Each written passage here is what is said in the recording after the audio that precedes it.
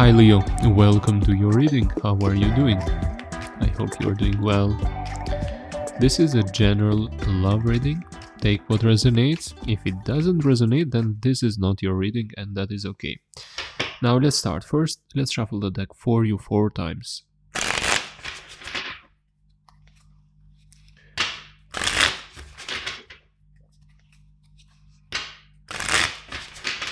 One last shuffle.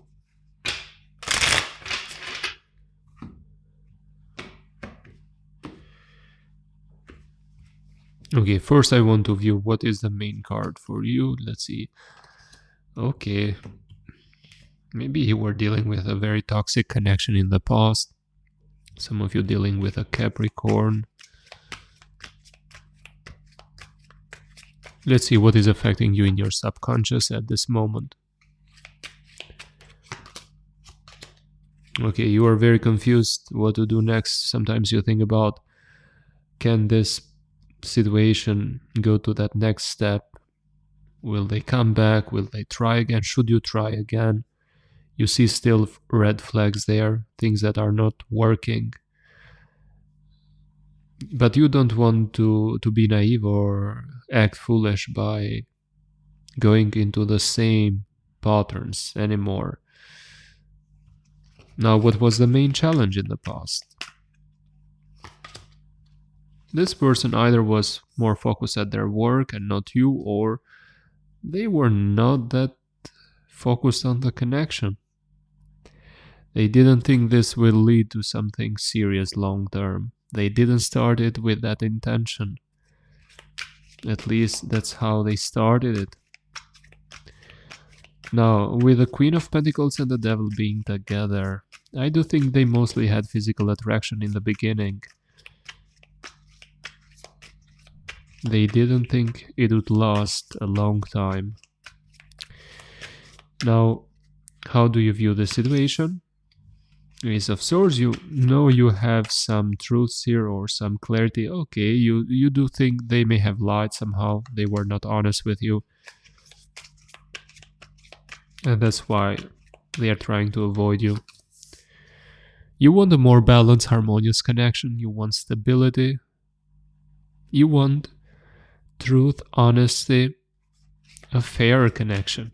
Otherwise, you want to cut it, cut it off completely because you don't want to waste time with the wrong people. Now, your fear is that maybe they will not reach out, they will not talk. You want the communication to happen and as soon as possible. You want to communicate with this person. Either you desire to know some more truths about this, or you just need to talk with them about it because it was paused and you want to know what is next with this situation. Now let's see about the current energies. Again, Queen of Cups. You have so much love about this person. And you are keeping those feelings to yourself right now. Now let's see about your next important connection. Three of Cups. King of Pentacles, Knight of Cups. There's not a connection you will start uh, seriously in the beginning, or you'd not believe this would lead to something serious. It would be much later that you would, will get an idea that, okay, let's consider this. I didn't think about this going this way, or didn't have much feelings in the beginning for this person but it is growing uh, bigger now or i'm getting to know this person better.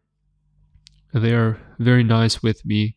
They show me love and affection that kind of thoughts you may have after some time. So i think you will try to enjoy yourself more getting to know new people. That's when you may meet this person and don't be so serious now some of you want to get or to be in a relationship as soon as possible. You want it so badly that you are putting off this energy outside that you are uh, blocking this new potential that is knight of cups it seems like a prince or princess charming coming your way with love messages so in order to open the door for them, you should be more.